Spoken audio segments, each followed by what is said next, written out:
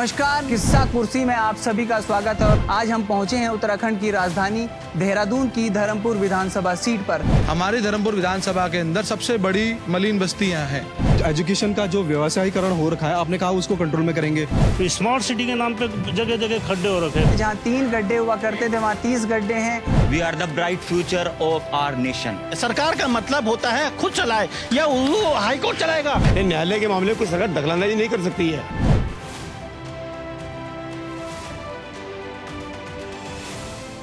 नमस्कार, news word India के खास कार्यक्रम, किस्सा कुर्सी में आप सभी का स्वागत है और मैं हूँ आपके साथ सुभाष गौड़। आज हम पहुँचे हैं उत्तराखंड की राजधानी देहरादून की धर्मपुर विधानसभा सीट पर। जहाँ से हमारे साथ कई मेहमान यहाँ पे मौजूद है, अगर बात की जाए। भाजपा से हमारे साथ सुशील गुप्ता जी मौजूद हैं। उसके साथ ही अगर बात की जाए, नितिन रावत जी हमारे साथ मौजूद हैं कांग्रेस से। इसके साथ ही यूकेटी से हमारे साथ मौजूद हैं बहादुर सिंह रावत जी और आम आदमी पार्टी से हमारे साथ मौजूद हैं हिमांशु पुंडीर जी। आप सभी का बहुत बहुत स्वागत है हमारे खास कार्यक्रम इसके साथ ही सबसे महत्वपूर्ण चीज़ ये कि इस सीट पर पिछले साढ़े चार सालों में कितना काम हुआ।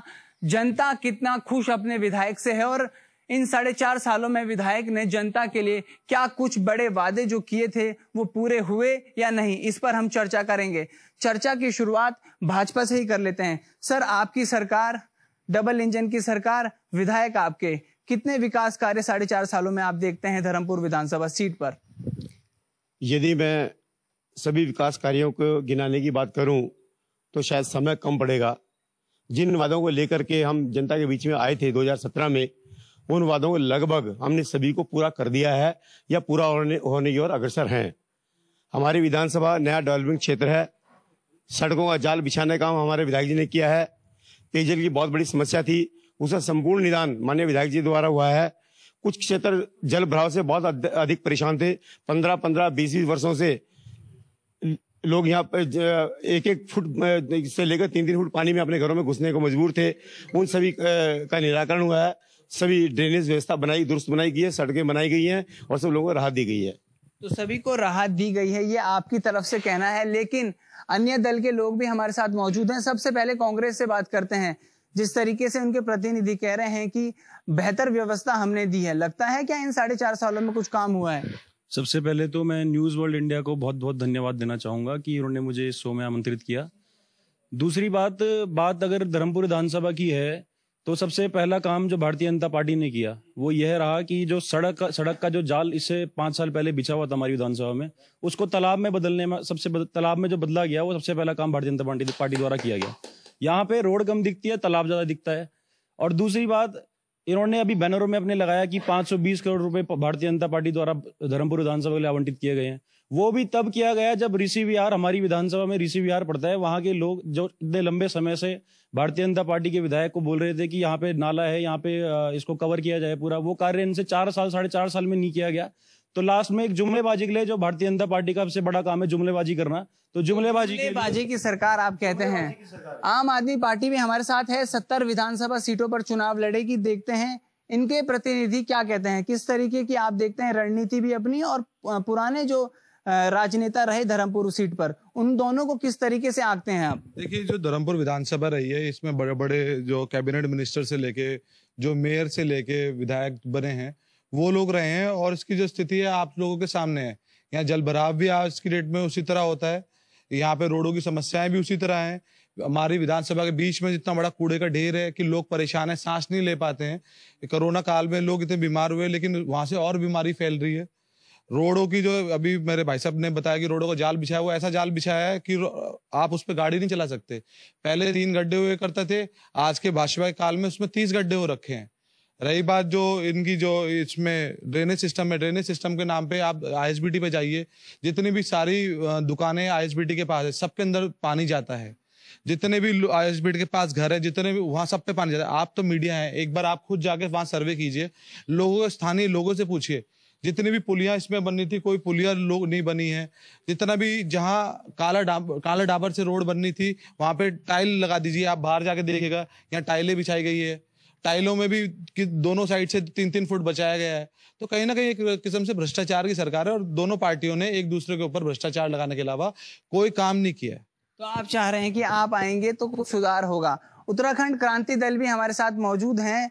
राज्य बनाने में तो महत्वपूर्ण योजना आपकी रही, लेकिन अब जिस तरीके से चुनाव आप लोगों की पार्टी लड़ रही है, ये कहा जा सकता है कि आपके पास जो प्रत्याशी हैं वो भी पूरे नहीं है, लेकिन धर्मपुर में किस तरीके से देखते हैं आप, किस तरीके से आप काम करेंगे और पिछली सरकारों ने किस तरीके से इस सीट पर काम किया? देखिए, इस समय साढ़े चार साल से जो चमोली जी काम कर रहे हैं, बिल्कुल जनता क्षेत्र की जो अपने को ठगा सा महसूस कर रही है। क्योंकि बड़ी मुश्किल से इन्होंने जो है पूर्व में जो विधायक थे दिनेश अग्रवाल को उनको हटाया कि कुछ अच्छा काम होगा। लेकिन जनता इस समय बिल्कुल जहाँ जाओ, सीधा बोल रही है कि बिल्कुल बेकार है। तो जनता कुछ बदलाव चाहती है इस समय और जहाँ तक विकास की बात कर रहे हैं, विकास के दावे सारे खोखले हैं। पूरी सड़कें, मैंने तो अभी बरसात में देखा, सारी सड़कें जलमग्न हैं। और कहीं गए तो पूरे जब ये धर्म यहाँ जाते हैं ब्रह्मपुरी पूरी सड़क पाँच साल से खुदी पड़ी है। और आज की तारीख में पूरी रोड जो है हम सड़क पे निकलते हैं तो स्मार्ट सिटी के नाम पे जगह जगह खड्डे हो रखे खड्डे भरे जाते हैं लेकिन वासे की वासे छोड़ रखे सब के सब। उससे कई एक्सीडेंट भी हो चुके हैं। तो ये कम से कम जो हमारा पहले का उत्तराखंड था अगर उसी स्थिति में रहने देते तो बहुत अच्छा होता आज। तो पहले की स्थिति में रहने देते। सर आपने सुना कि सभी दलों ने क्या कहा? आपकी जो सड़कें थी उनके ऊपर आज पानी है जहाँ तीन गड्ढे हुआ करते थे वहाँ तीस गड्ढे हैं जुमलों की सरकार आपकी है। किस तरीके से देखते हैं? क्योंकि आप लोगों को भी काम करने के लिए पूरा समय मिला डबल इंजन की सरकार थी यहाँ तक कि नगर निगम के मेयर भी आप ही के थे उसके बावजूद भी इतनी शिकायतें कैसे? देखिए विपक्षी दल का काम शिकायत करना है। इसके अलावा क्या करेंगे? कमियाँ खोजना और उस कमी को बढ़ा चढ़ा कर बताना जनता को भ्रमित करना ये विपक्ष का काम है। तो जनता से पूछ लेते हैं कि आखिरकार जनता क्या चाहती है? कोई है जो सरकार से सवाल पूछना चाहता हो इन सभी लोगों में से? सरकार से सवाल पूछने के लिए हमारे साथ युवा मौजूद हैं। आपका क्या सवाल है सरकार से और खास तौर से क्षेत्रीय विधायक से? मेरा सवाल बीजेपी से है। आप ये भैया अंकल जी ने कहा अभी कि विपक्ष का सवाल जो है भ्रमित करने का है। अंकल जी, आप मेरे साथ इसी क्षेत्र में, ब्रह्मपुरी की बात भी हुई थी अभी। मैं ब्रह्मपुरी से आता हूँ। आप चलिए। जो सामने पुलिस चौकी है ना, उसके अंदर सामने इतना भयंकर खड्डा हो रहा है, लोग, मैं आज दिन देखता हूँ, यार, मेरी गाड़ी ना गिर जाए, मेरे एक्सीडेंट ना हो जाए यहाँ। आप चलिए, ब्रह्मपुरी के एक भी सड़क आज ब्रह्मपुरी क्षेत्र में बनी हो तो आप मुझे दिखा दीजिए। पाँच साल पहले, पंद्रह साल जो विधायक हमारे रायपुर में, उन्होंने इतना काम किया था कि वहाँ पे ऐसा लगता है कि वाकई स्मार्ट विधायक ने काम किया लेकिन वर्तमान विधायक ने आपकी सड़कें नहीं बनाई ऐसा आपका कहना है। तो आप बताइए आपकी क्षेत्र की कोई समस्या?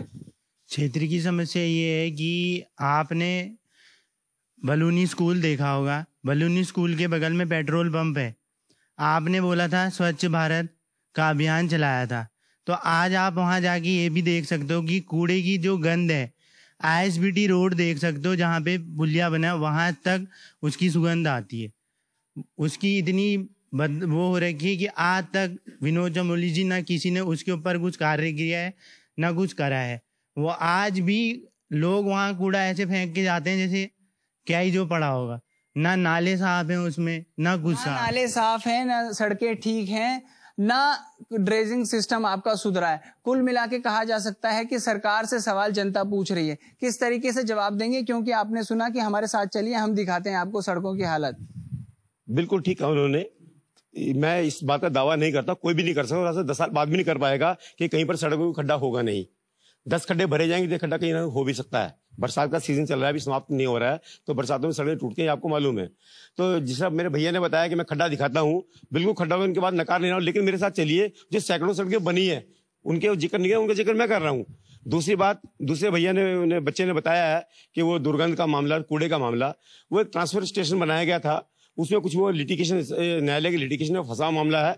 उसे वास्तव में जनता तरसता है। हमें भी अच्छा नहीं लगता है। उसके लिए व्यवस्था बन रही है और विधायक तो आपके हैं कर सकते थे काम। उनके पास ट्रिपल इंजन था शहर के लिए। खास तौर से नगर निगम के मेयर उनके थे सरकार उनकी थी केंद्र में सरकार उनकी थी पार्टी उनकी है। विधानसभा में अगर कहा जा सकता है विधानसभा में भारी बहुमत के साथ वो लोग पहुँचे हैं। उसके बावजूद भी जनता इतना परेशान। क्यों? जवाब दे रहा हूँ ना। मेरा मेरा कहना यह है कि जनता के जब बीच में सर्वे आप करेंगे, जनता की परेशानी तब पता लगेगा, दस लोगों में परेशानी का पता नहीं लगेगा, एक बात। दूसरा, मेरा कहना यह है कि हम जब जाके क्षेत्र में देखते हैं, और जो इस कूड़े की, हम, हमारा काम करना, हमारा दायित्व तो है, मैं मानता हूँ, उस दायित्व से भाग नहीं रहा हूँ तो मैं, मेरा कहना है कि न्यायालय के लिटिगेशन में मामला फंसा हुआ है, और पूरे शहर से सारा कूड़ा इकट्ठा कर जो हमारे सॉलिड वेस्ट मैनेजमेंट का प्लांट लगाया था, वहाँ ट्रांसफ़र हो, वो ट्रांसफ़र स्टेशन है। उसकी व्यवस्था दुरुस्त होनी चाहिए मैं ये मैं भी कहता हूँ। लेकिन हमारी सरकार इसमें लगी है न्यायालय का मामला है। ये न्यायालय का मामला बीच में आता तो समाधान हो चुका होता। तो समाधान किया जाएगा ये आपका कहना है।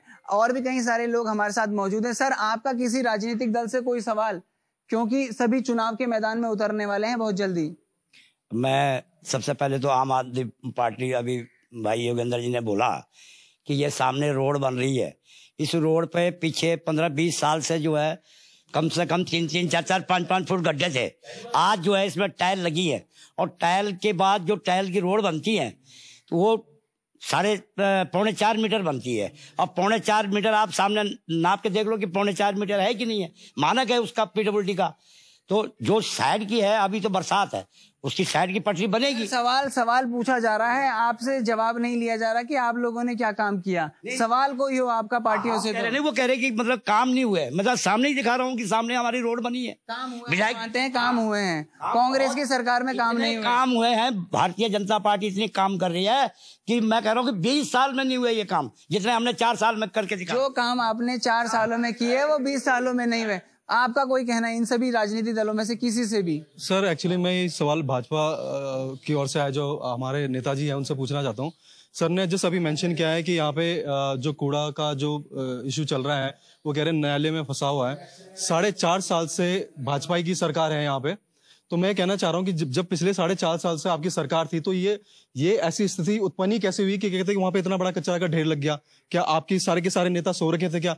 अगर आप ये पहले से अगर इस चीज़ का एलोकेट करके रखते कि इतना बड़ा क्षेत्र है पूरे धर्मपुर क्षेत्र में दो लाख लोगों की आबादी आती है अगर उसका आप प्रॉपरली अगर उस कूड़े का या पानी हो सड़क की समस्या हो अगर उसका प्रॉपर एलोकेशन करके उसको अगर एग्जीक्यूट करते हो प्लान को तो ये नौबत नहीं आती। तो ये नौबत नहीं आती अगर आप मास्टर प्लान बनाते तो। भाई साहब आपका कोई सवाल राजनीतिक दलों से?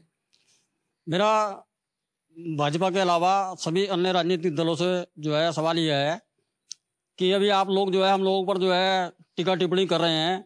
आप लोग अपना विजन बताइए कि जो है आप लोग जो है जो चीज़ें छूट गई है उसको कैसे ठीक करेंगे? जरा बताएँ आप जरा मेरे को। आप लोगों से मेरा सवाल ये है। इनसे विजन पर आपका सवाल है। इसके साथ ही और भी कहीं साथी हमारे साथ हैं। आप बताइए सर आपका क्या सवाल है किसी राजनीतिक दल से? ठीक है अभी हमारी जनप्रतिनिधि जी बोल रहे थे कि अभी कोर्ट में मामला निलंबित है। तो बताइए उत्तराखंड सरकार का कौन सा मामला कोर्ट में नहीं है? सारे जो मामले हैं, उत्तराखंड के सरकार के हाई कोर्ट में पड़े हुए हैं। हर चीज़ के लेकर स्वास्थ्य के मामले में कहो तो कोर्ट में है, शिक्षा के मामले का कोर्ट में है। तो सरकार का मतलब क्या हो गया उत्तराखंड में? सरकार कहीं की होती है? सरकार का मतलब होता है, खुद चलाए, या वो हाई कोर्ट चलाएगा? हाईकोर्ट से क्या मतलब? हर चीज़ क्या मतलब? जब आपकी कोर्ट है काम में, आपके उसमें प्लानिंग में या दिशा निर्देश में, तभी तो कोर्ट में जा रहा है आदमी। वो हर चीज़ में देखिए, भ्रष्टाचार हर चीज़ में है। तो सर, भ्रष्टाचार हर चीज़ में है, कोर्ट में तभी मामले फंसते हैं जब आप लोग अच्छी पैरवी नहीं करते हैं। तो इसका किस तरीके से जवाब देंगे? क्योंकि लगभग सभी लोग उसी से त्रस्त हैं कि आखिरकार कूड़ा निस्तारण क्यों नहीं हो पा रहा है। मेरा इन अपने भाई साहब को ये कहना, निवेदन करना है कि किसी भी मामले को गंभीरता से समझा जाए। यह किसी की संपत्ति का मालिकाना हक का मामला है इसलिए न्यायालय में है। और और कोई मामला न्यायालय में जिसके कारण से स्वास्थ्य या शिक्षा का काम रुका हो ऐसा नहीं है। ये सभी बातों को बोल देने से न्यायालय ये नहीं न्यायालय को सरकार चला रहा है। ये न्यायालय के मामले को सरकार दखलंदाजी नहीं कर सकती है। लेकिन पैरवी तो बड़ी अच्छे से कर सकती है लेकिन साढ़े चार साल हो गए पैरवी करते हुए। अभी तक बेहतर पैरवी क्यों नहीं होती है? पैरवी बेहतर हो रही है न्यायालय का मामला है इसे कितना समय लगता है ये कोई नहीं कह सकता। कभी कभी मामले बहुत जल्दी निस्तारण भी हो जाता है कभी के मामले में बहुत लंबा समय लगता है। और दूसरी बात जहाँ तक काम करने की है कि मैं ये बताना चाहता हूँ, एक आज से चार साल, पाँच साल पहले एक मामला चल रहा था कि साहब दिनेश अग्रवाल हमारे यहाँ पूर्व में विधायक रहे, कैबिनेट मंत्री भी रहे हैं, कि साहब बहुत काम किया, बहुत काम किया, बहुत सारे लोग बोलते थे। लेकिन जब जन, चुनाव में जनता में गए, के बीच में गए तो जनता ने जो निर्णय दिया इसे पता लगा उन्होंने कितना काम किया था। तो 2017 की बात थी सर जब मोदी लहर में कई विधायक जीतकर विधानसभा पहुँचे। लेकिन आज की स्थिति ये जनता बताएगी कि आखिरकार जनता किसे पसंद करती है? चुनाव नज़दीक है। 2022 का चुनाव भी नज़दीक है। आखिरकार किसे आप लोग पसंद करेंगे और कितना बेहतर काम धर्मपुर सीट पर चाहते हैं? मेरा सीधा सवाल सबसे तो पहले बीजेपी से है। युवा, सबसे मेन चीज़ युवा बेरोजगार है। We are the bright future of our nation सबसे मेन चीज़, हम मेहनत कर रहे शिक्षा में पैसा लगा रहे स्कूल में कॉलेज में जा रहे पर हमें रोज़गार ना मिले, इसका फ़ायदा क्या है? इसका फ़ायदा क्या है? शिक्षित सब है यहाँ। हर बंदा शिक्षित है, चाहे उसने छठी क्लास पढ़ रखी, चाहे उसने किस, समझदार कोई नहीं है। और समझदार को इशारा ही काफ़ी है हमें रोज़गार मिलना चाहिए। रोज़गार की ज़रूरत है। हम रोज़गार की ज़रूरत है। इन युवाओं को रोज़गार चाहिए है। हम चाहते हैं कि जो अन्य लोगों ने अन्य दलों से जो सवाल पूछे थे आप लोगों का विजन क्या है? जैसे कि सभी लोग पूछ रहे हैं कि आप लोग चुनाव के मैदान में तो लड़ना चाह रहे हैं लेकिन विजन क्या है? किस तरीके से जनता का भला करेंगे? सर सबसे पहले तो हमारा विजन जो है वो विजन ये है कि जब हम हमारी सरकार आए 2022 में सरकार बनने के बाद पहले दिन से हम काम करना शुरू करें लास्ट के चार साढ़े चार साल बाद काम करना शुरू ना करें। इससे पहले तो आप ही की सरकार थी विधायक आप ही के थे कैबिनेट मंत्री थे। क्या चाहते अगला विजन ये लोग जो परेशानी है इनकी परेशानी कैसे दूर करेंगे? क्योंकि आप भी परेशानी दूर नहीं कर पाए बीजेपी परेशानी दूर नहीं कर पाई। अन्य राजनीतिक दल कह रहे हैं कि हम आएँगे तो हम कुछ करके दिखाएँगे। आप ये बताइए किस तरीके से परेशानी दूर होंगी लोगों की? सर ऐसा है देखो सबसे पहली चीज़ तो मैं यह कहना चाहूँगा कि आज से पहले जितने भी चुनाव होते थे, चुनाव में जब सरकारें बनती थी तो जनता का काम होता था सरकार से सवाल पूछना, सरकार का काम होता था उनका जवाब देना, उनके समस्याओं का समाधान करना। आज के वर्तमान समय में ऐसा हो रहा है कि सरकार सवाल का जवाब देने के बजाय सवाल पूछ रही है लोगों से। तो आप ये बताएँ ये कोई भी कार्य हो सबसे पहले चीज़ तो डंप मैं दूसरी पूछ रही हैं। आम आदमी आपके पास फिर से आएँगे। फिर से आएँगे अभी। आम आदमी पार्टी चुनाव लड़ रही है। आप लोग कह रहे हैं कि हम पाँच हज़ार रुपए भत्ता देंगे इन बेरोजगार। जैसे युवाओं ने कहा कि हम बेरोजगार है भत्ता देंगे। फ्री बिजली देंगे। कितनी चीज़ें आप फ्री देंगे? क्योंकि सोर्स ऑफ़ इनकम तो उत्तराखंड में इतनी बेहतर है नहीं कि फ्री दी जाए। शब्द है। मैं अभी भी आपको कहना चाहूँगा ये फ्री शब्द नहीं है। ये आम आदमी का अधिकार है आम आदमी का हक है जो उसे मिलना चाहिए। जब बड़े बड़े नेता लोग बड़े बड़े मंत्री लोगों को बिजली मुफ़्त मिल सकती है तो हम तो उस आदमी के लिए सोच रहे हैं जो पंक्ति में सबसे आखिरी में खड़ा है। हम तो उस आदमी के लिए विजन विजन जानना चाहती है धर्मपुर की जनता कि आप लोगों का विजन क्या है? क्योंकि यहाँ की भौगोलिक स्थिति दिल्ली से बहुत अलग है। मैं मैं मानता हूँ देखिए धर्मपुर विधानसभा की भौगोलिक स्थिति बिल्कुल दिल्ली जैसी ही। है ये कोई पहाड़ी क्षेत्र नहीं है। धर्मपुर विधानसभा के अंदर सारी प्लेन्स रोड हैं बढ़िया इंफ्रास्ट्रक्चर है। लेकिन जो यहाँ पे जो मूलभूत सुविधाएँ लोगों को मिलनी चाहिए थी वो नहीं मिल रही है। किस तरीके की मूल सुविधा चाहते हैं कि मिले लोगों को? मैं गिनवाता हूँ। अभी कूड़े के ढेर पे बात हुई, चलिए अब कूड़े के ढेर को खत्म करते हैं, दूसरी उस पर आते हैं। हमारे धर्मपुर विधानसभा के अंदर सबसे बड़ी मलिन बस्तियाँ हैं, जिसका कि बड़े से बड़े नेताओं लोगों ने हर साल, पाँच साल बीजेपी यूज़ करती है, पाँच साल भाजपा वाले यूज़ करते हैं, जिसमें कि बीस हज़ार से पच्चीस हज़ार परिवार ऐसे हैं जो कि आज भी झुग्गी झोपड़ी में रहने के लिए मजबूर हैं। उन्हें नाले के तट पे उनके नाले बसाया गया है और हर साल जब भी बरसात आती है, उनको वहाँ से डीएम के ऑर्डर आते हैं कि नाले पे, नदी के किनारे कोई नहीं रहेगा तो वहाँ से उन्हें तोड़ना पड़ता है। हर सरकार उन्हें लॉलीपॉप देती है कि मलिन बस्तियों को आपका प्रॉपर तरीके से आपको घर दिए जाएँगे सब कुछ किए दिए जाएँगे लेकिन कोई भी कार्य नहीं हुआ। आवास नहीं दिए जाते ये आपका कहना है। यूकेडी वाले नेता हमारे साथ खड़े हैं सर बड़ी देर हो गई आप शांति से नज़र आ रहे हैं बाकी सब तो काफ़ी अपनी बातें रख रहे हैं लेकिन आपकी बात कैसी रखी जाएगी? क्योंकि आप सीट लाने में बहुत पीछे हो गए हैं क्योंकि पिछले चुनावों में भी देखा जाए तो आपकी एक भी सीट नहीं आई। किस तरीके से देखेंगे और किस तरीके की तैयारियाँ रहेगी? क्योंकि उत्तराखंड बनाने में बड़ी भूमिका रही है यूकेडी की। आंदोलन करते थे तो आज जो लोग सत्ता कर रहे हैं, वो बोलते थे, कभी उत्तराखंड नहीं बन पाएगा। और आज वही लोग इस पर राज कर रहे हैं। तो ऐसे जहाँ तक सीट की मामला है, ये लोग आज भी बोलेंगे कि सीट नहीं और सीट हम ला के दिखाएँगे इस क्षेत्र में। जहाँ तक इस क्षेत्र का है क्षेत्र में अगर ईमानदारी से मैं बोल रहा, जो भी विधा- विधायक बन रहा है, अगर वो ईमानदारी से काम करे तो क्यों नहीं होगा? पूरा काम होगा। आज की तरह में अभी ये सामने की रोड की बारी आई। मैं बोल रहा, एक भी आबादी है इस रोड पे, ये बताओ। किसके लिए बना रखी है सड़क? केवल बिल्डरों के लिए या भूमाफियाओं के लिए। समझ गए? आबादी अगर होती तो ये सड़क कभी ना बनती। कई आबादी वाले क्षेत्र हैं, आबादी वाली गलियाँ हैं, वहाँ आज भी वासी काम रुके पड़े हैं। इसमें एक भी कोई मकान नहीं है। और दूसरा कारगिल क्षेत्र में देखो तो ये बीच में अभी खोदी सड़क और टाइल्स लगाई, लेकिन क्या हुआ? एक महीने बाद फिर टूट गई। कोई भी विधायक ईमानदारी से काम करेगा, काम नहीं करता। अगर करता, एक सड़क ऐसी बनाए कि दस साल तक चले क्यों ना ईमानदारी से काम नहीं होता। सर कई आरोप लगाए आपने कांग्रेस का आरोप आम आदमी का यूकेटी का जनता का आरोप। अब किस तरीके से देंगे जवाब? ये तो कह रहे हैं ईमानदारी से काम नहीं करते हैं। आपने सड़कें बना दी बिल्डरों के लिए क्योंकि यहाँ तो लोग रहते नहीं है। बड़े बड़े बिल्डर्स के यहाँ बिल्डिंग बन रही है। देखिए अब मैं किन शब्दों का प्रयोग करूँ कि खिसियानी बिल्ली खम्मा नोचे? जहाँ बना दी थे या ये नहीं है वो नहीं है क्यों बना दी? जहाँ जहाँ जहाँ जहाँ जहाँ जहाँ मुझे अपनी बात करने दे। जहाँ पर बना दी। जहाँ जहाँ पर जो नहीं बची वहाँ बनाते नहीं है। सब सवालों का जवाब है। और दूसरी बात यह है कि इतनी बड़ी विधानसभा कोई भी किच्चा छोटी या बड़ी हो पहले दिन से काम होना प्रारंभ होता है और अंतिम दिन तक काम होता है। कि अंतिम दिन बना दी आज क्यों पहले दिन क्यों नहीं बनी?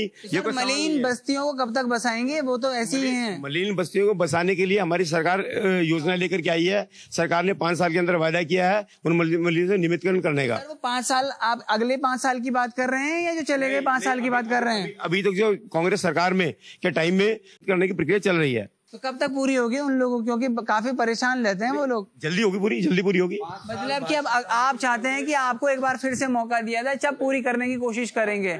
उससे पहले अभी कुछ नहीं हो सकता। और भी कई लोग हैं जिनसे सवाल पूछेंगे। आप सर, आपने जैसा सवाल पूछा था उनसे, अब वो मलिन बस्ती की बात कर रहे हैं, सड़कों की बात कर रहे हैं, धोखा देने की बात कर रहे हैं। तो आप बताइए किस तरीके से होगा? पाँच साल तो चले गए उनके, अब कुछ चुनाव का समय बचा है घोषणाएँ होंगी, पूरी कब होंगी? सर, मुझे लगता है वो पूरी होने वाली नहीं है, क्योंकि अगर आप रिसेंटली देखें सतपाल महाराज जो पीडब्ल्यूडी के अपने मिनिस्टर थे, जब ऋषि विहार के लोग, करीबन 200 लोग आपके विनोद चमोली विधायक के पास जाके उन्होंने धरना दिया, तब जाके वो प्रेशर में आए और उन्होंने 532 करोड़ रुपए का उन्होंने फंड रिलीज़ किया। जिसमें से 112 करोड़ रुपए उन्होंने ऋषि विहार के नाला और सड़क के लिए एलोकेट किया। तो मुझे ये पूछना है कि हम धर्मपुर क्षेत्र में रहते हैं, अगर जनता को इसी तरह आपके पास आना पड़े विरोध करके कि सर हम हमारे पास ना बिजली है ना पानी है ना सड़क है, रोज़गार तो तब पूछेंगे, हमें मालूम नहीं। रोज़गार है, स्वास्थ्य संबंधी है। आपने कहा कि हम गिनाते थक जाएँगे जो हमारी उपलब्धियाँ हैं। आपके मैनिफेस्टो में था 2017 में कि आप जो एजुकेशन का जो व्यवसायीकरण हो रखा है, आपने कहा उसको कंट्रोल में करेंगे। आपने वो साढ़े चार साल हो गए, अभी तक वो पूरा नहीं किया। पेरेंट एसोसिएशन को बना के उन्होंने नैनीताल हाईकोर्ट में एफिडेविट डाला कि हमारी गुहार सुन लो कि कहते हैं लॉकडाउन में जो फ़ीस बढ़ा रहे हैं निरंतर, उसमें सरकार हमारी मदद करे, पर आपने कोई मदद नहीं करी है। तो एक के बाद बहुत सारी ऐसी इश्यूज़ है जो अगर हम डिबेट चालू करें तो बहुत आम जनमानस की जो समस्या है, वो आज भी वैसी ही है जैसे 2017 में थी। ऐसा लोगों का कहना है, और भी कई लोग हैं, उनसे पूछेंगे। आप बताइए, क्या समस्या है आपकी? हमारे मोहल्ले की बात है पटेल नगर की। पार्षद ने आज तक वहाँ पे कुछ आ, निकलता भी नहीं है। पार्षद किसके हैं? कौन सी सरकार? के सरकार के। वो आज तक घर से बाहर भी नहीं आती है ना गरीबों की सुनती है वो। और गरीबों पे और अत्याचार करती है वो अनिता सिंह। अच्छा पार्षद से भी नाराज़ हैं। विधायक तो छोड़िए पार्षद से भी नाराज़ है। आपका कुछ कहना? अभी इन्होंने ऐसा बोला कि क्या कहते हैं बीजेपी सरकार ने हर जगह सड़कें बनाई रोडें बनाई। मैं इनसे ये पूछना चाहता हूँ अभी फ़िलहाल ही हाल ही में ही जब कारगी चौक क्षेत्र है सर्दी का वहाँ पे ऑफ़िस भी है। उससे पहले वहाँ पे बहुत सारे एक्सीडेंट हुए वो हुए। और जैसी चुनाव की रणनीति आने लगी तो उसी समय इन्होंने सड़कें क्यों तैयार करने लगी? ये बताओ हमें। आते ही काम शुरू चुनाव आते देखिए भाई साहब कांग्रेस पार्टी भी हम देख चुके हैं भाजपा सरकार भी देख चुके हैं। जो पार्टी आज खड़ी हुई है हमने अपने बड़े भाई हिमांशु जी को खड़ा कर रखा है और किस पर्पज के लिए कर रखा हम आप ये ये भी बता देते कि आम आदमी पार्टी बिना सरकार के होते हुए भी हमारे फ़ायदे दूर कर रही है। तो क्यों ना हम अपनी सरकार आम आदमी पार्टी ही लाएँ तो क्या आम आदमी पार्टी क्या कर रही है यहाँ हमारे कई ऐसे काम थे जो हिमांशु भाई ने हमारे करवाए बिना सरकार के होते हुए जो कि सरकार का दायित्व था हमारा वो काम करना लेकिन सरकार द्वारा कोई भी काम नहीं किया गया है। जो कि हमारे हिमांशु भाई ने करवाया। तो आप हिमांशु जी के सपोर्टर हैं कुल मिला के आम आदमी। आम आदमी फ्री की बिजली देना चाहती है। आम आदमी रोज़गार देने के लिए जब तक युवा को नौकरी ना मिले पाँच हज़ार रुपए भत्ता देना चाहती है। इसके साथ ही अरविंद केजरीवाल फिर उत्तराखंड पहुँचेंगे और एक बड़ी घोषणा और जनता के लिए करके जाएँगे। कितने लोग चाहते हैं कि आम आदमी की सरकार आए जो घोषणाएँ हैं ये आम आदमी की तरफ़ से पूरी की जाए? आप कुछ कहना चाह रहे हैं? पहले तो मैं जैसे बताया, आम आदमी की तरफ़ से सर थे और उन्होंने ये लोग बोल भी रहे हैं कि उन्होंने आमनी, इनके लिए कुछ काम किया बोल के। पर बेसिकली आम आदमी पार्टी जो दिल्ली में उन्होंने काम कर रखे, उसी के बेसिस पे उत्तराखंड में अपनी सरकार मांग रही है। मैं कह रहा हूँ कि जैसा आपने बोला कि एक सवाल पहले भी था मेरा कि एक लाख आप रोज़गार देंगे छह महीने के अंदर सरकार बनते ही और पाँच हज़ार रुपए बेरोजगारी भत्ता देंगे उनको जिनको रोज़गार नहीं मिला है। तो मेरा कहना है कि ऐसे बहुत सारे आंकड़े जैसे सेंटर फॉर और एम्प्लॉयमेंट रिसर्च है, मुंबई बेस एक डाटा सेंटर है, ऐसी सेंटर फॉर टास्क मैनेजमेंट है, जिनके आंकड़े कहते हैं कि Delhi one of the top ten cities में आता है, जिनमें हाईएस्ट अनएम्प्लॉयमेंट रेट है। तो मेरा कहने का तात्पर्य मतलब पूछना ही चाहता हूँ कि आपने दिल्ली में अभी तक कितने आपने एम्प्लॉयमेंट दे दिए लोगों को, कितने लोगों को आपने पाँच बेरोजगारी भत्ता दे दिया पिछले सात सालों में? इतना मैं पूछना चाहता हूँ। दूसरा, आप कह रहे हैं कि साढ़े तीन सौ यूनिट आप बिजली फ्री दे देंगे। आपका नारा था कि बिजली हाफ़ पानी माफ़। तो मेरा क्या कहने का मतलब ये कि जो सरकारें भाजपा हो या कांग्रेस हो उन्होंने इतने साल यहाँ पे काम किया है उनको मालूम है यहाँ की भौगोलिक स्थिति क्या है। भौगोलिक स्थिति के हिसाब से आप बात कर रहे हैं। भाई साहब आपका सवाल किसी राजनीतिक दल से? जी निश्चित रूप से सभी दलों के यहाँ पे प्रवक्ता उपस्थित हैं। तो आज कोई फ्री की बातें कर रहा है, कोई अपने पाँच साल का जो रिकॉर्ड है, वो गिना, गिनाने जा रहे हैं और अपने अपने स्तर पे सारे लोगों ने अपनी बात रखी। लेकिन वास्तविक रूप से यहाँ पर युवा, उत्तराखंड की बात करें तो युवा, यहाँ पे युवाओं के जो प्रतिशत है, वो सबसे ज़्यादा है। रोज़गार की बात करें, हमारे भाई ने अभी बताया कि उत्तराखंड के हमारे जो युवा हैं, उनको पेपर देने पड़ते हैं, उसके बाद हाई कोर्ट में की शरण में जाना पड़ता है, उसके बाद अंत में तब तक उनकी एज चले जाती है। तो कहीं ना कहीं हमारे प्रदेश का जो युवा है, उनकी समस्याएँ आज वहीं की वहीं हैं, हमारी मातृशक्ति वहीं की वहीं है, और निश्चित रूप से उत्तराखंड क्रांति दल, जिसने इस दल को, राज्य को बनाया अगर वो राज्य बना सकते हैं तो कहीं ना कहीं उत्तराखंड को संवार भी सकते हैं। तो आज उत्तराखंड क्रांति दल अगर राज्य में राज्य में आएगा तो बेहतर काम करेगा। और आम आदमी पार्टी से कई लोगों के सवाल हैं फ्री की चीज़ें आप देने को तैयार हैं लेकिन दिल्ली में काम करने को तैयार नहीं है। उसको किस तरीके से मैं आपको अब बताता हूँ कि जो विजन जो पूछा जा रहा है कि आप रोज़गार कैसे देंगे। मैं आप सभी लोगों को बताना चाहता हूँ कि हमारा उत्तराखंड एक ऊर्जा प्रदेश है। इसके अंदर अपार संभावनाएँ हैं, जिसके अंदर से हम लोगों को रोज़गार दे सकते हैं। एक इंसान की पहले नीयत होती है कि वो इंसान देना चाहता है या नहीं देना चाहता? दोनों सरकारों को दस दस साल का समय दिया गया दोनों सरकार विफल रही हैं। हमें एक बार मौका देके दीजिए। प्लानिंग तो होगी किसी चीज़ के लिए। बोलना एक अलग बात है एक प्लानिंग बहुत ज़रूरी है किसी भी चीज़ के लिए। तो हमारी प्लानिंग कैसे है। जितने भी हमारे देश में हमारे उत्तराखंड के अंदर टूरिज़्म है आपने नाम सुना होगा स्विट्जरलैंड का। हमारे उत्तराखंड के अंदर एक से एक ऐसी अच्छी जगह है जहाँ स्विट्जरलैंड से उसकी तुलना की जा सकती है। अगर वहाँ पे टूरिज़्म बढ़ाया जाए जब व्यापार बढ़ेगा तो ऑटोमेटिक लोग आएँगे। व्यापार बढ़ेगा। तो आपका क्षेत्र से लेके कोई सवाल? छह सबसे पहले तो मैं ये बताना चाहूँगा कि हमारे बड़े भाई हिमांशु भाई ने ये बोला कि पर्यटन को लेकर उन्होंने जो सवाल किया तो सबसे पहले तो कांग्रेस पार्टी के द्वारा पर्यटन को लेकर कितने काम किए गए वो सबको है जो टीरी झील है वो आज जितने लोगों को रोज़गार दे रही है उसका वो वो कार्य किसने किया टीरी झील का? जो सौंदर्यकरण था या फिर की बात करें तो ज़्यादा बेहतर होगा। धर्मपुर सीट पर एक बड़ी चीज़ ये भी है कि आईएसबीटी एक मुखिया है जो धर्मपुर सीट पर आता है। लेकिन बरसात के समय में देखा जाता है कि जो मोटरसाइकिल से, स्कूटी से जो लोग जाते हैं, वो पानी में तैरते हुए जाते हैं। ये स्थिति राजधानी देहरादून के धर्मपुर सीट की है। उसे किस तरीके से देखते हैं? क्योंकि हम भी कई बार गुजरते हैं पानी से बहते हुए।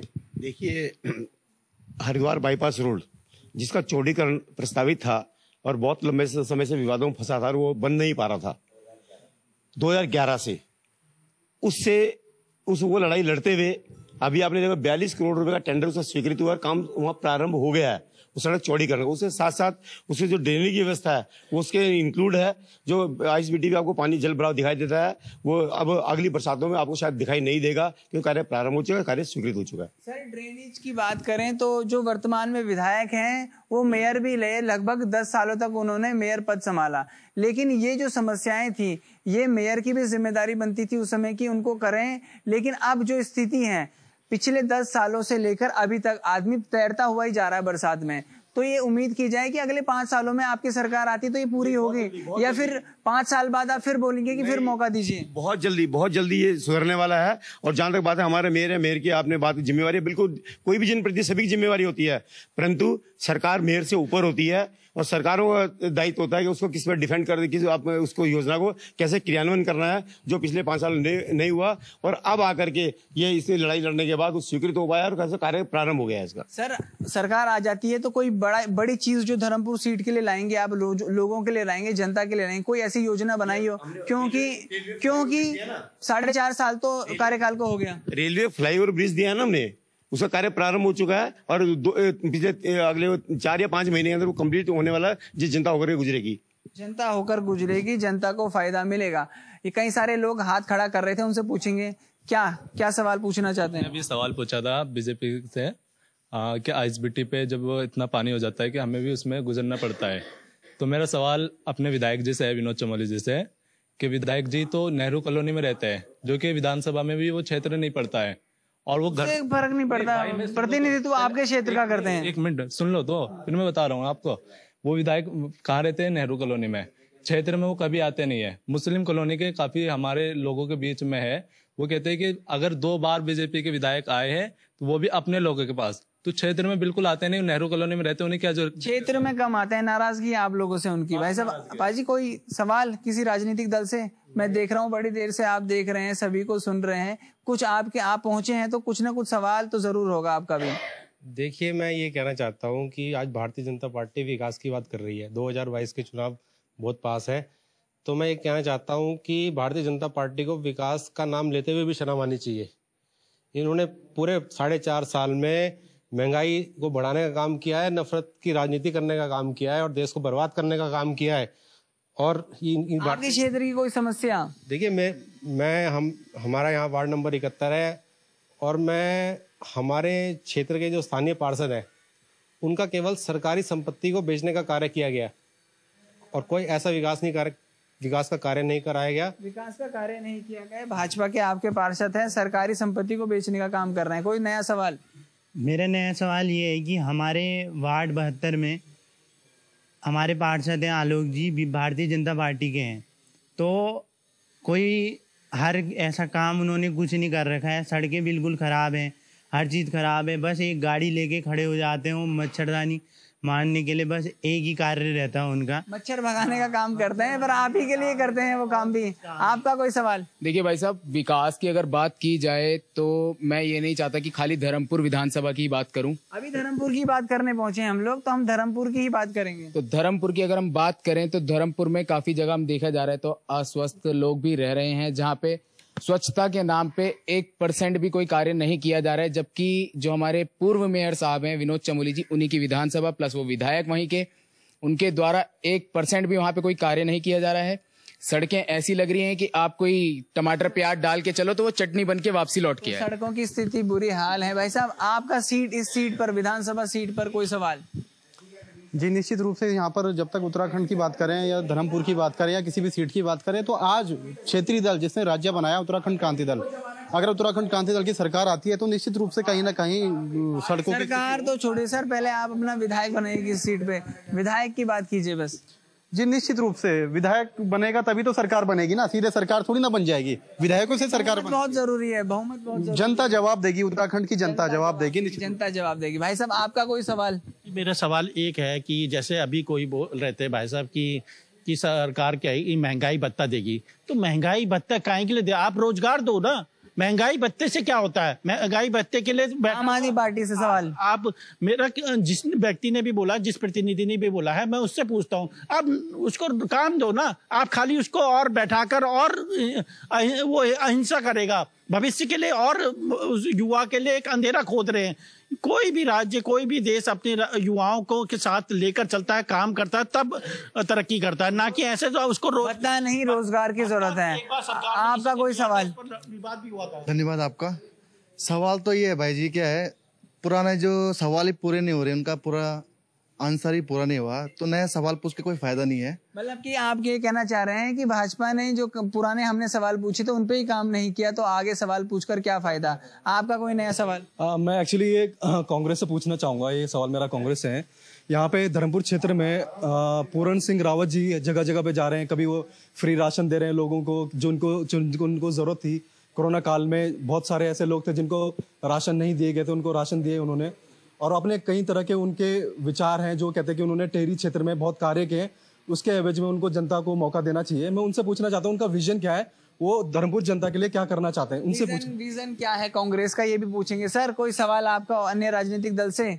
सवाल तो नहीं था। अभी किसी भाई ने जो है ये सवाल उठाया था कि विधायक जी कहीं दिखाई नहीं देते।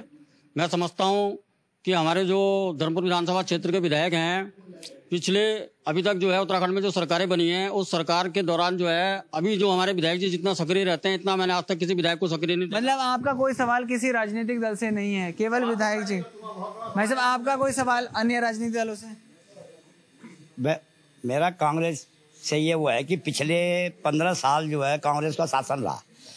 और भारतीय जनता पार्टी का साढ़े चार साल का शासन चल रहा है इसमें। जितना पिछले पंद्रह सालों में धर्मपुर विधानसभा में काम नहीं हुआ, उससे दुगना जो है इन चार, साढ़े चार सालों में। सालों में आपकी सरकार ने किया। तो सर, कहीं सा आप आप लोगों के भी इस पक्ष में कई लोग नज़र आ रहे हैं कि भैया हम, यूकेडी को मौका दिया जाए तो कुछ करेंगे। आप कोई विजन बताइए इस सीट को लेकर जिससे आप चाहते हैं कि आपकी सरकार बने? देखिए ऐसा है ना यहाँ पे अगर ईमानदारी से काम किया जाए तो बहुत कुछ हो सकता है। जो एक विधायक की मद आ रही है उसको सही जगह पर लगाएँ। जैसा मैंने अभी बोला ये ऐसी जगह पर लगा के कोई फ़ायदा नहीं है। जहाँ पे ज़रूरत हो वहाँ पे लगाएँ। और जो भी चीज़ बनाए बिल्कुल मजबूती के साथ बनाए ताकि आगे उसको बनाने की ज़रूरत चीज़ करें बेहतर से करें चाहे कोई भी करें। आपसे भी कई सवाल पूछे गए थे कि भैया आपकी सरकार ने कोरोना में काम किया लेकिन ये कहा जा सकता है कि आपकी सरकार के साथ कई अन्य दलों ने भी काम किया, लेकिन आपका विजन विजन बहुत ज़रूरी है किसी भी लोगों के लिए। विजन से पहले, सबसे पहले मैं यह कहना चाहूँगा, जो हमारे भारतीय जनता पार्टी पार्टी के बैठे हुए जो हमारे नेता लोग हैं, ये जो कह रहे हैं कि हमारे विधानसभा में बहुत विकास कार्य हुए।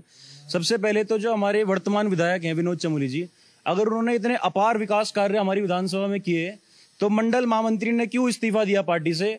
एक कॉलोनी अभी अभी सबसे महत्वपूर्ण चीज़ कि आपका विजन क्या है? आप अपना विजन बताइए सबसे पहले। देखिए साहब सबसे पहले तो हमारा विजन ये है जो इतना इन्होंने जो सड़कों का जाल बिछाया है जहाँ पे तालाब दिख रहा है सबसे पहले जो मूलभूत सुविधाएँ होती है जो ये आपका सड़कें हो गई बिजली हो गई और जो खंडर स्थिति में पड़े हुए सरकारी स्कूल हैं उनको ठीक करने का सबसे पहले काम। दूसरा काम जो हमारे युवा साथी यहाँ पे इतने बड़े तादाद में बैठे हैं युवा साथियों को किसी किसी ना किसी ज़रिए से रोज़गार देने का होगा।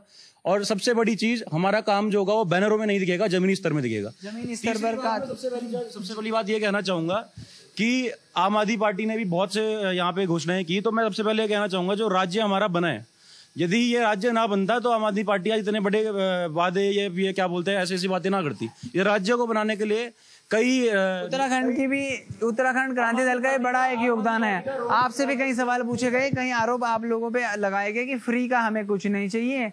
काम होगा तभी वोट मिलेगा। तो उसे किस तरीके से? देखिए मैं भी उत्तराखंड से हूँ मैं भी एक उत्तराखंडी हूँ मैं उत्तराखंड में ही पैदा हुआ हूँ। और आम आदमी पार्टी अगर उत्तराखंड के अंदर चुनाव लड़ने जा रही है तो वो दिल्ली से अरविंद केजरीवाल जी आके चुनाव यहाँ नहीं लड़ेंगे।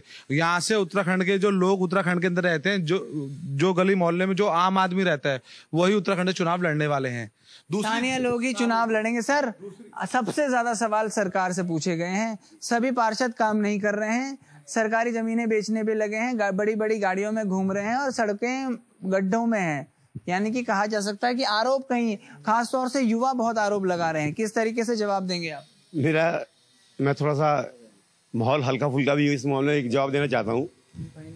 मेरा कहना यह है कि बड़ी बड़ी गाड़ियों में घूमते हैं, गड्ढे हैं, सरकारी ज़मीनें बेचने का, सरकारी ज़मीनें कैसी बेची जाती हैं तो शायद कांग्रेस के लोगों को ज़्यादा बेहतर मालूम होगा।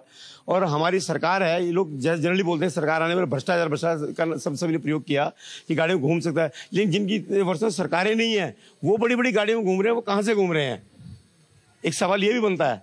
दूसरी, मेरा कहना यह है कि ये जब इस प्रकार के आयोजन होते हैं, जैसे आपने आज किया है ये, यहाँ आमंत्रित किया है तो अपने दल के समर्थक आते हैं, अपनी बात करते हैं। लेकिन जब आम जनता, जो वोटर है, जब उसके बीच में आप जाएँगे वो बताएगा वो किस किसके उनके समर्थक भी पहुँचे सबके समर्थक पहुँचते हैं। जब नेता पहुँचते हैं तो समर्थक भी पहुँचते हैं जनता भी पहुँचती है। लेकिन समस्याएँ लोगों की होती है तभी सरकार से सवाल पूछे जाते हैं। बता रहा हूँ आपको समस्या दूसरे अभी मैं जब आप मुझसे मैंने रेलवे फ्लाईओवर ब्रिज की बात की अभी हमारे इस विधान धर्मपुर विधानसभा में एडीबी के माध्यम से जो जिस पूरे आधे विधानसभा सीवरेज का काम बिल्कुल नहीं है नगण्य है उसका प्रयास किया उसका काम स्वीकृत कराया है उसका 450 करोड़ के रुपए से काम वो ड्रेनेज सीवरेज और पेयजल का काम। सारा उससे होने वाला है। और दूसरी बात ये अपना जो ये ये लाल पुल है, यहाँ से जो मैं दिनेश वाली जो रोड है। आप लोग आप लोग विकास कार्य करने जा रहे हैं। सर, एक और सवाल मेरा आपसे। आप चुनाव लड़ने जा रहे हैं, आपकी पार्टी चुनाव लड़ने जा रही है। किसको मानते हैं बड़ी चुनौती? कांग्रेस आम आदमी पार्टी यूकेडी या किसी अन्य दल को? आज भारतीय जनता पार्टी के लिए कोई भी राजनीतिक दल के सामने खड़ा होने होने की स्थिति में नहीं है। भारतीय जनता पार्टी को जनता का विश्वास प्राप्त है और बड़े लगन के साथ मेहनत के साथ काम कर रही है। जनता के किससे किए वादे पूरे कर रही है और सबका साथ सबका विश्वास के साथ हम आगे चल रहे हैं। आम आदमी पार्टी कह रही है की हम फ्री की बिजली देंगे रोज़गार देंगे तो उनको किस तरीके से देखते मैं ऐसा अभी सभी लोगों ने बात की है परंतु किसी भी राजनीतिक दल की बात पर मैं अपनी टिप्पणी नहीं करना चाहूँगा। उसका कहना है वो जनता देखेगी जनता कौन ठीक है। किसी को भी अपने आगे नहीं मानते। सर किस क्या देखते हैं? कि कौन बेहतर प्रदर्शन करेगा इस बार 22 में? देखिए उत्तराखंड अभी हमारे भाई ने भी बोला कि ऊर्जा प्रदेश है। ऊर्जा प्रदेश होने के नाते जो है उत्तराखंड जो है यूपी और दिल्ली को बिजली दे रहा है। तो इनको तो ज़रूरत ही नहीं है वहाँ से जो फ्री बिजली लेने की। अगर उत्तराखंड को उसका हक भी मिल गया ना तो उत्तराखंड जो है दिल्ली को पाल लेगा। यहाँ के आज की तारीख में जब भी हमारा राज्य बना था, वो बीजेपी की बहुत गलतियाँ ने उन्होंने सत्ताईस संशोधनों के साथ बनाया। आज हमारी परिसंपत्तियों पे यूपी और दिल्ली का अधिकार है। अगर हमारी परिसंपत्तियों का ही बंटवारा ठीक से हो जाए तो उत्तराखंड तो वैसे बहुत तरक्की परिसंपत्तियों का ही बंटवारा हो जाए तो उत्तराखंड के पास बहुत कुछ है देने के लिए। एक आखिरी सवाल सभी राजनीतिक दलों से लेते हैं कि क्या उनका विजन है, किस तरीके से वो काम करेंगे, और क्या जनता का जो प्यार है, वो उन लोगों को मिल पाएगा, नहीं मिल पाएगा। सर आखिरी सवाल, आखिरी जवाब। कितनी तैयार आप और किसे अपना मानते हैं कि जो आपको टक्कर दे सकता है इस 2022 के विधानसभा चुनाव में? सर, सबसे पहले तो एक मैं सबसे पहले ये बोलना चाहूँगा, जो आपने भारतीय जनता पार्टी के हमारे प्रवक्ता को जी को बोला कि आपके लिए सबसे बड़ी चुनौती है। सबसे बड़ी चुनौती इनके लिए यह है कि ये वोट मांगने जनता के पास कैसे जाएँगे अब? जब इन्होंने विकास कार्य तो कुछ किया नहीं, विनाश किया पूरी विधानसभा का। तो ये जनता के पास वोट मांगने कैसे जाएँगे? सबसे बड़ी चुनौती इनके लिए ये है। दूसरी बात ये डंपिंग जोन जो मामला था हमारे पार्टी के पूरन सिंह रावत जी उन्होंने मामला उठाया अपने नेतृत्व में वहाँ के लोगों को इकट्ठा किया। नगर निगम में ये प्रदेश में ये देश में ये हर जगह ये। और जगह ये लेकिन विकास कार्य धर्मपुर सीट पर नहीं हुआ। आप लोगों का विजन किसको मानते हैं आप? आप किसे मानते हैं अपने प्रतिनिधि? हम अपना हम हम अपना हम चुनौती के हम चुनौती किसी से हम, हम ये बोलते हैं कि हमारी पार्टी ने पूर्व में इतना कार्य किया है और जनता को यह पता चल चुका है कि भारतीय जनता पार्टी जमीनी स्तर पे खोखली है इकलौती कांग्रेसी विकल्प है और उत्तराखंड के लिए कांग्रेसी ऐसी विकल्प है ऐसा कांग्रेस का कहना है। आम आदमी पार्टी किसे मानते हैं? आप चुनौती 2022 चुनाव में। हम किसी को चुनौती के लिए तो बात मैं नहीं कहूँगा लेकिन हम अपना काम ज़रूर कर रहे हैं। हम अपनी नीतियों को लेके काम कर रहे हैं। और रही बात धर्मपुर विधानसभा की धर्मपुर विधानसभा में जो हमारी पार्टी का विजन रहेगा पूरी विधानसभाओं को कैमरों से लेस किया जाएगा। इसमें प्रॉपर ड्रेनेज सिस्टम बनाया जाएगा। बस्तियों को बस्तियाँ जितनी भी हैं, उनका नियमितीकरण कराया जाएगा। जितना भी ये जो कूड़े का ढेर है इन सरकारों से तो हुआ नहीं। हम लोग आप लोगों को करके दिखाएँगे कि इसमें काम किस तरह किया जाता है। रोडों को जाल बनाए जाएँगे प्रॉपर ड्रेनेज सिस्टम होगा महिलाओं की सुरक्षा के लिए कैमरे लगाए जाएँगे। और भी जो मूलभूत सुविधाएँ जो जनता को चाहिए उसके लिए आम आदमी पार्टी तन मन धन से काम करेगी। मन धन से पार्टी काम करेगी किसी को चुनौती नहीं मानती। सर आखिरी सवाल किसे चुनौती मांगते हैं? सीधा सीधा सवाल। मैंने अभी अभी वो बताया है कि भारतीय जनता पार्टी के सामने। आज कोई भी राजनीतिक दल खड़ा हो पाने की स्थिति में नहीं है। और अभी एक चीज़ और मैं कहना चाहूँगा हमारे एक मित्र ने अभी बताया कि आपने उन सब, उनका विजन पूछा, वो कह लगे, भारतीय जनता पार्टी किस मुँह से कैसे जाएँगे? अरे, ये हमारा सोचना है। ये हम जाएँगे, कैसे जाएँगे? आप अपना बताइए ना, आप कैसे जाएँगे? आप क्या लेकर के जाएँगे? हमारे भारत में हमारे पास जनता के बीच जाने के लिए बहुत कुछ है बहुत लंबी फहरिस्त हमारे पास है। अपने कामों को लेकर ही जाएँगे और आने वाले समय जो बचे हुए कामों को करेंगे और बहुत अच्छे मतलब भारी मार्जिन के साथ जो काम आपने साढ़े चार सालों में अभी तक किए उन कामों को लेकर जनता के पास जाएँगे ऐसा आपका कहना है? सर यूकेडी किस मुँह से जनता के पास जाएगी? क्योंकि यूकेडी का तो नाम भी कई बार जनता वाले भूल चुके हैं। बीजेपी बोल रही है कि साढ़े चार साल के कामों का जो है लाभ बोल रही है। लेकिन इनका जो है इनका तो केंद्रीय नेतृत्व नकार चुका है। चार साल बाद मुख्यमंत्री ही बदल दिया। जब कुछ नहीं किया होगा, तभी तो मुख्यमंत्री बदला है। अगर कुछ किया होता तो क्यों बदलते? उसके बाद तीन महीने बाद फिर दूसरा मुख्यमंत्री बदल दिया। अब ये तीसरा मुख्यमंत्री और किया होता इनको तो इनके केंद्र नेतृत्व तो नकार चुका है कि उत्तराखंड में कोई काम नहीं हुआ है। एक बार उत्तराखंड की क्रांति दल को जो है मौका दे के देखो, क्योंकि उत्तराखंड क्रांति दल ने इस राज्य को बनाया, वही संवारेगा। ये घर की बात, उत्तराखंड क्रांति दल का तो एक तरह से घर हुआ। बाकी राष्ट्रीय पार्टी क्या करती है एक बार मौका दिया जाए ऐसा क्रांति दल का कहना है भाजपा का कहना है कि जो काम हमने किया है उस पर हम जनता के बीच जाएँगे। आम आदमी कहती है हम चुनौती नहीं मानते हैं काम करके दिखाएँगे। तो वहीं कांग्रेस का कहना है कि हमसे आगे कोई नहीं इस सीट पर। कुल मिला के कहा जा सकता है कि धर्मपुर की जो जनता है वो 2022 में अपना वोट देकर आखिरकार किसको चुनाव मैदान से विधानसभा तक पहुंचाती है, ये एक बड़ा सवाल हो जाएगा। अब देखना होगा कि 22 के चुनावों में कितना फ़ायदा किसी राजनीतिक दल को काम करने से मिलता है या फिर बयानबाजी करने से। तब तक के लिए हम सभी लोगों को दीजिए इजाज़त। नमस्कार।